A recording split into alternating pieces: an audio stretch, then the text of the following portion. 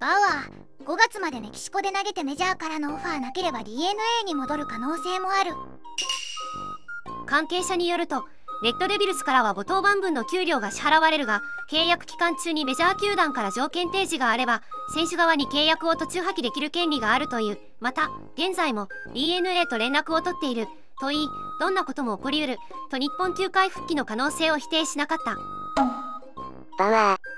筒香もバウアーも戻ったのに優勝できなかったら笑うわ。バウアーはともかく筒香は戦力になるかわからんよ。合格倍。もしかして横浜がだいぶ舐められてる？そらもう舐めまくりのしゃぶりまくりよ。5月からのバウアーブーストはずるいわ。最後のピース揃ったな。はよこいや。今年のベースボールに耐えられるかな？今の米に戻ったら毎試合ガチ切れして大変なことになりそう。ベースボールが君を待っている。別に来てもいいがねんくれはめちゃくちゃ下げろよなめすぎよな。